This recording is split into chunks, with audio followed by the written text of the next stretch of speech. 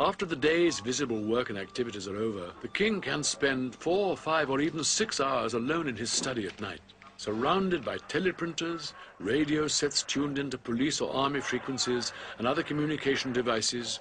He debriefs himself on the day and plans tomorrow's trip. Could you explain what, what you're doing with his maps, please? If I see something, you see circles there, places that can be developed. And you can see a place there with a red, uh, red thing there. It's a kind of so for damming and for making a small reservoir. And then when there are the engineers, the irrigation engineer, I can uh, ask them if it is practical to do that. And sometimes they go and, uh, and inspect the place and can have a, a survey on the spot. Why do you have all these radio sets everywhere, all these uh, receivers, transmitters, telexes? What, what, are they all for?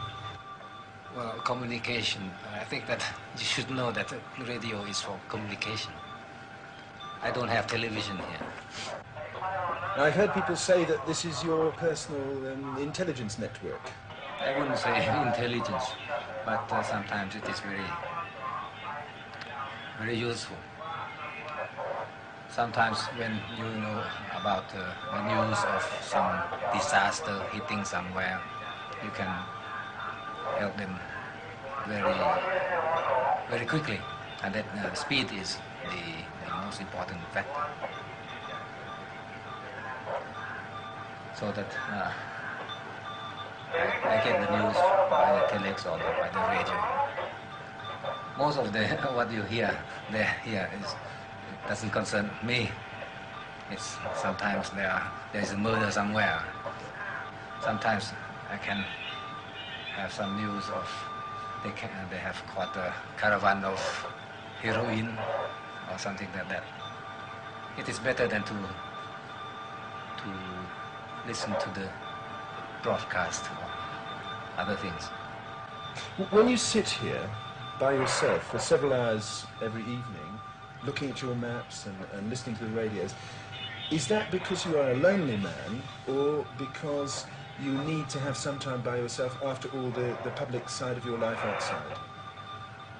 Uh, that is a question that can be answered in many ways. I'm not lonely. And I have work to do.